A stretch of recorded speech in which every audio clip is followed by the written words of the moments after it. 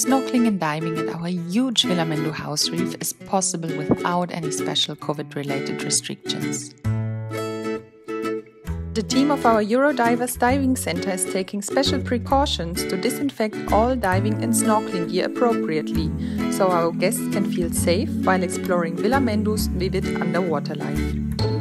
Our geographical location in South Ari Atoll also enables us to offer boat trips for divers and snorkelers to see manta rays, sea turtles, and whale sharks, the biggest fish in the ocean.